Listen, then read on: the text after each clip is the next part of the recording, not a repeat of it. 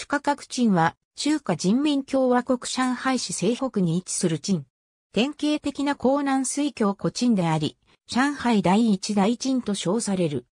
主価格には、北大街、東医街、西医街、大新街、東市街、勝利街、小毛川街、東古街、西古街など、幾条もの古い町がある。その中の北大街は2005年11月に、上海市の上海市10大級街の一つとして選出された。動作と時価などに見られる運河、水門、左官、市の商業施設の相関関係を示す構造や、陳の急進的場所としての廟や寺も残されている。また、北条橋の上からは、百数十年経た左官も見られ、古典的商業の仕組みも散見できる。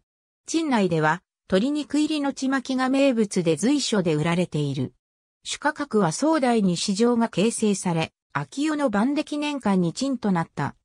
水路の要所であった点から発達し、防食業も発展しており、鎮としての繁栄は、近隣の鎮である北州層、南山根層をはるかにしのいでいたと言われている。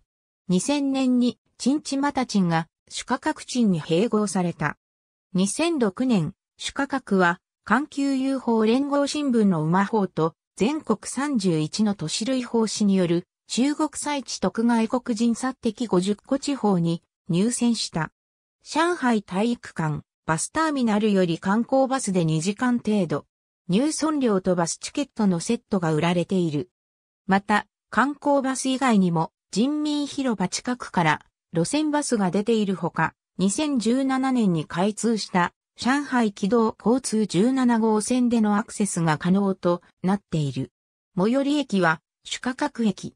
下部に以下の尺居民委員会と村民委員会を管轄する。ありがとうございます。